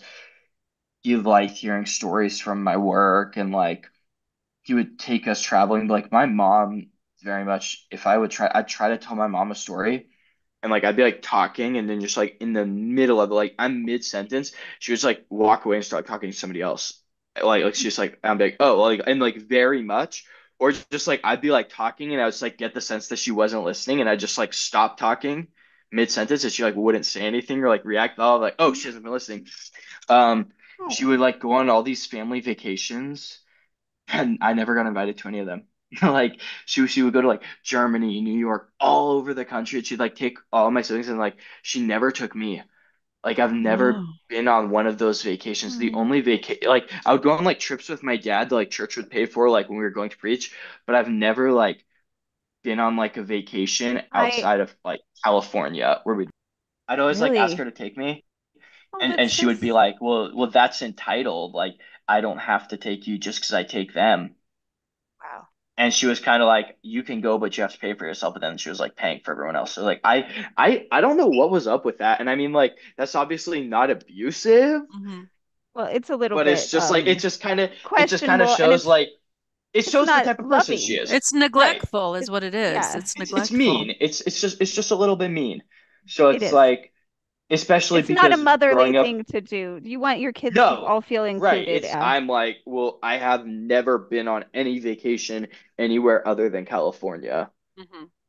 like, so that I guess that kind of goes into another question of you know one-on-one time. Is there ever one-on-one time with the children? It's kind of curious. Um, is your dad even much. home every night? Like, is he home consistently because, or is he just not quite as present? My He's okay. pretty much always home when he's, he's not traveling. Mm. Now, so now his office and everything not... is at home, so he's there at home. Well, he he he has his his office is at church, but like right. I said, he doesn't really for the last there for a long time he worked extremely hard for the church the last mm-hmm. few years the only work for the church he does is preach and make a couple videos he turns down most speaking engagements so when he was traveling, he'd always take a kid with him, and usually he would just take one kid. So it's like a rotation. And there was a period See, I think that's, where that's a good when thing. He was working then you have one-on-one hard. Yeah, yeah, yeah, yeah. When he was working extremely hard, traveling every week, there was a rotation of kids. So you would get to go on a trip with my dad every couple of months to go through preach. So there was one one time with my dad, with my mom, not really ever, no. And like there were even times as like when I would like try to like like when I was older, when I was like 12, 13, 14, I'd be like, hey mom, and I and I like try to like arrange something like, hey, like can I go with you on this errand? Or, like, hey, do you want to go with me here? And like it pretty much would never really happen because she had way too many kids to handle mm-hmm. and did not really individually like most of her kids and definitely did not really like me very much. Mm-hmm. And um well, yeah, as far like as you, like John. teaching so, just so you know, there's a lot of people who really enjoy you and you have you have built I think a community of people what you're doing. Well, that's that's a nice thing of you to say. I appreciate that. 100%. 100%. Yeah. But yeah, that's um, yeah, I I wanted to um just ask since you've gone public and this will be your third interview and thank you again for being so gracious to give us so much of your time and to just open yourself up to to these questions. Um, what has anything changed? Have you been contacted by uh, people your age that are in a situation or have been, or people that want to hear more from you? I, I read some comments. People say, you know, when are you going to write a book? Um, I, I'm I hate writing. I'm not writing a book. That's, that's not gonna happen. That, okay. Well, there's AI. not writing a book. There's AI. Yeah, for that. you can get I don't, ghost I don't know. I don't know yeah. why anybody yeah. would want to spend their free time reading a book about abuse. Um, on my last video, I had him like link my Instagram because I don't. I'm not comfortable giving out my number. No. Just publicly. If somebody like sends me a message on there and wants to call me, I give them my number. But I'm not. Public. So if you if you want to put that on here as well. That's that's cool. Um, a Thank lot of you. people reached out that said like, "Hey, I was in a similar situation. Like, I was raised fundamentalist or Catholic, or, or even other things mm-hmm. where they were raised in these very religious but also very abusive homes." And talking to them was encouraging for me, and I hope it was encouraging for them as well and I would say I have gotten a lot of support from people and a lot of people saying nice things. A lot of people also attacking me, and I have gotten attacked a lot for issues with people thinking I'm not a Christian. And I would always be like, and they, they would they would bring up like the same few things. And there's this like one picture of me that went around, I mean, wearing this one outfit that everybody says I'm not a Christian for. And I'm not gonna lie, okay, I get it. The outfit looks a little gay, but I was at an electronic music festival, and that is what you do. You dress up as kind of like bizarre and crazy as mm-hmm. possible. That's just part of the culture of the event. And with context, that's not gay. if that's how I was just dressing to go to the grocery store, I think that would be a valid concern. But when I one time dressed up crazy because that's you know what you do at those types of events and yeah like people attacking stuff and, and a lot of it is i'm asking like well where specifically is that a sin where yeah. specifically does the bible say that you can't have piercings or like and and especially it's like dude that's not the point like that is right. what the bible talks about it's talking about like picking out the mote in someone's eye when there's a beam in your own eye and it's like being abusive and violent towards your wife and kids is a much more serious issue than wearing a questionable outfit to a music festival or having yeah. piercings. Well, I think that's a like, common tactic that is used, and I know you you don't describe it as a cult, but I do actually think that it is a cult. There, I think like I would say a lot of we, people have a cult-like view of the organization. Well, we used to say, I used to say, even while I was there, I'm like, well, we're not in a cult, but we sure are surrounded by some cult members. So, that like, that's yeah. a really good way of putting it. I think I think but, that um, pretty much sums it up. Yeah. A lot of times they attack your personal problem as they did me um, and my flaws. Um, so I've gone through that and I've experienced it. It's hard, but you have to just brush it off because, and I have to make the point, and you, I think, have made the point. It doesn't matter. That's not what we're talking about. We're not actually here to discuss John. John is not a pastor. John is not a father, you know, and um, we're not critiquing your your style. We're here but talking about actual abuse and even Over... if you were, even if you were, all of the things they accuse you of being on drugs and, you know, gay, or if you were those things, you talking about abuse that someone did to you is still legitimate. It still right. means that person needs to be held accountable. And and you are none of those things. And I we are so thankful. And that is one thing that we want to put out there is that you are still a very faithful and and growing Christian. And we are so proud of you for living through all of this and separating the. I would say um, my faith is stronger the, now than ever since yeah. separating from my dad in that church. Yeah. And I will say the support overwhelmingly, the majority has been positive.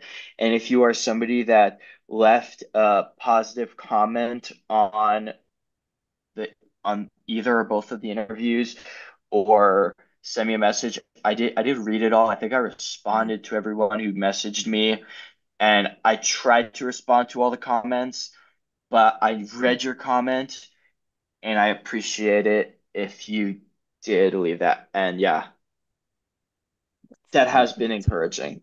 But I have also what's really cool and something I did not at all think would happen when I did this, but I have reconnected with some some old friends and that's been that's been good. That's been nice. Has that been nice? some that's people good. some people I didn't think I was gonna see again. yes. so that was aware. an unexpected positive of that. Raise a roof. Yeah. Raise a roof. We're all here for it. I do have one question. It's kind of out of out of line and you might not want to use it, but I, I'm really curious because I have a theory about what happened to your your mom. Uh, your dad was on a mission in in Germany and he sees a pretty girl walking down the street and she's busy in her life feminist all that school uh, make money. And he stops her and they end up getting together. And he kind of um, abruptly stops her her own manifestation of who she wants to be. Uh, and my theory my my thought is um, maybe she has you know anger because she wanted to come to america because she she was curious of how this would play out. Um, she she wanted part of this, but she didn't want all of this, right? And uh, my theory is that maybe your your dad might be a different person if he wouldn't have married her uh, for the better. Um, maybe I don't want to say poison the well, but what what do you think about that? About my theory? I would I would say that I think that my dad probably started out with good intentions. Mm-hmm. And I think that he very much is not the person he was or pastor was at the beginning. And like, I think that he Yeah, I think that he very well could have had good intentions at the beginning. You know, he grew up in a good home, went to Bible Right. college, wanted to be a pastor, wanted to be a missionary from a young age. Mhm. But at this point, I think that he is past the point of no return Mhm. with all that. As sad as that is to say about my own dad. Yeah. And people people act like I just want to like go attack my dad. Like this this is hard for me. You know, like that's my dad. Like this this isn't something that gives me joy to talk about. And you know what's interesting is that conversation I had with Jordan, where I detailed was, that was the first time I've I'd spoken to anyone outside of my family to speak to a lot of those things. And like Right. I had mentioned to people before, like, yeah, I got abused a little bit growing up, or like, but I very much downplayed it because I didn't want to acknowledge it because I wanted to have that relationship with my parents.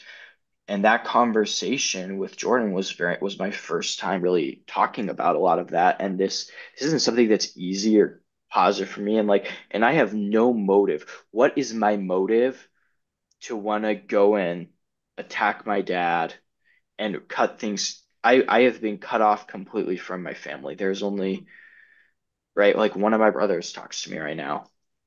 A lot of, a lot of people don't like him. He says a lot of weird stuff. But like I think I think he's a good dude. Like I think he just has a lot of weird ideas. And I don't agree with him politically, if anybody knows his political views. But he's the only member of my family that still talks to me, and I think he's a nice, good guy. He just has some weird ideas. But he doesn't he's not physically violent to anyone. He doesn't physically act on any of his ideas or beliefs. And we are free as people, and part of freedom is the freedom to be wrong. But yeah, I don't know what people think I would have to gain from making all this up about my dad. Because two weeks ago, I was welcome in their home. Right. I was able to have a relationship with my younger siblings, and that was something that was always really important to me was from like from the time I got my driver's license, like I was always taking my younger siblings that were like like the little ones out on day trips. Any day I wasn't at work, I would take them to the zoo, take them to Tucson, take them to Flagstaff, and I'm sure that that's something that they're going to miss. And I'm sure that they're going to ask my parents about, hey, you know, what happened to John? And uh, who knows what they're going to tell them? You know, they're going to tell them that, and I would have them bring my siblings job to show them what I do and like try to be a good influence. And now I can no longer have that influence on them. And I think that that's not something I like. I don't like the fact that I don't have, you know, as a young adult, 19, living alone, it's it's difficult when you don't have like people you can go to for help with stuff. You know what I mean? Like like just logistical things in everyday life. Right. You want to have the thing of like like who who do I call to ask if a specific dish can go in the microwave now that I've ostracized my family? And like I had no motivation to do this. The only I have only suffered personally loss for this. The reason I'm doing it is because I feel that it's number one, the right thing to do, and I will always do what I believe is the right thing, no matter the cost or consequences. And number two, I'm doing it because I think it's what's best for my siblings and the good people that are in my dad's church. Yeah, wow, that's so important. That's a great point to make, John. And I can't imagine the last two weeks how they've been on your heart. I know it's probably equally cathartic, but also um, painful beyond beyond words, painful. And um, I, I believe God, our God is a God of miracles, and I, I pray for the hearts of your parents that they soften. Um, maybe it is a lost cause, but um, maybe if they're presented with the idea, the fact that they might lose their children at some point for what they've done, maybe that'll, you know, maybe that'll that'll yeah turn turn hopefully. them. I don't know. I, I hope to God and I pray to God and I'll be straight. praying for them. Yeah. And I'll be praying for you too. And and thank you so much Thank for you. for talking with us, John. This was amazing. Um, Yeah, I appreciate you guys hearing me out and talking to me Well- about this. Thank you very we'll much. we'll share your Insta if that's okay. We'll we'll we will put the Insta in the show notes. And we look forward to seeing how things progress in your life in more Yep. ways than one. Thank you. Thank you. I Very think that my needed faith out is the the best world. it's ever been right now. Mhm. Yeah. Since separating from that. my dad and his toxic misuse of Christianity and I had a lot of confusion. And I would say that there were even a lot of points in my life where I didn't even necessarily feel like I believed in any of it just because of how confused I was with. Him in my childhood. And then once I was able to rectify all that and have closure and peace on that, and then understand that, wow, like this has nothing to do with God, and he is just another person who misused his platform, misused his position, and abused and twisted scripture. Yeah, so insightful. That's so important. See, you you don't realize that you've you've become a leader in this small growing movement of people that might know they're in a church that's not quite right, or uh, maybe older children that feel like they, they don't have anybody like all the years you grew up and you really didn't have anybody and you felt like there was no voice for you. Um, so inadvertently you've you've become kind of a leader in this which is a wonderful thing because i think you're a natural leader. Um, but um, I, I don't know they, i don't know about all that but yeah i know i know you're say. so young. You're so young to see yourself as that but what looking from the outside looking in uh, it's a hundred percent. yeah. It's a hundred percent what would you say to children in that situation? How did you about faith, about the distinction between what is going on in the name of God and who God truly is to you? And how do you have a message like that to them? I would say develop your own personal faith, develop your own personal walk with God. Read the Bible on your own. Read what it says when it describes God, when it describes Jesus. Read the messages of the Bible and start to deconstruct yeah your view of the of what you were taught growing up and then reconstruct based on the bible and based on what is actually what the bible actually says and find find good role models in your life adults in your life that you can look at. And i know i had some great role models in my life in my early teenage years. And i think that like as teenager and a young adult those some great men and women in my life that taught me a lot and influenced me a lot. And I think that are the reason why I did not become jaded or, or hateful or carry on this cycle of abuse because of those people and because those voices and those people I saw in my life. I'm like, wow, like they're great parents, they're great spouses, they're great Christians, they're great members of their community and find those role models in your life find those people you can look up to. I think naturally all of us look at our parents as role models but you know maybe when you get older evaluate whether or not your parents should be role models or whether there are other people in your life that would make better role models. Develop your own personal faith develop your own personal walk with god and i'd say more than anything don't let anything you have seen don't let anything you have experienced change your view of the world or change your view of humanity. And I think that the world is a very imperfect place. And throughout my personal life and my childhood, I've experienced a lot of pain. Throughout my professional life, I have seen the worst that the world has to offer.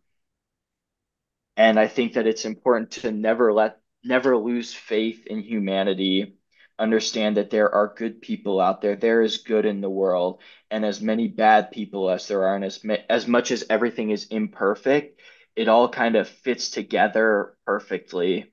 How do we know who is the real deal? By the way, just a little side note here. When it comes to preachers, how do we know who is the real deal?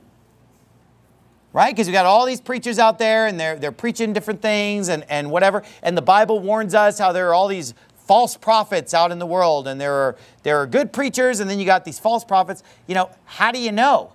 Okay well simple. Two ways how you know who the real deal is. Number one based on what the bible says right? The bible says in isaiah 8:20 to the law and to the testimony if they speak not according to this word it is because there is no light in them. So if a preacher isn't lining up with the word of god then he's a false prophet it's that simple. If he's, if he's preaching and it does not jibe with what we have in the Bible, he's a false prophet. I think that's pretty easy to understand, pretty simple, pretty clear. I think you could use a lot of scriptures to prove that. I just gave you one. But number two, the Bible says, you will know them by their fruits. Beware of false prophets, the Bible says in Matthew 7 15, which come to you in sheep's clothing, but inwardly they are ravening wolves. Now, this is a legitimate example of don't judge by the appearance judge righteous judgment. They come to you outwardly in sheep's clothing. Is that not the appearance? the appearance of sheep, the appearance of godly Christianity, but inwardly they're ravening wolves. How do I know, God? How do I know the true sheep from the wolf that is in sheep's clothing? You shall know them by their fruits.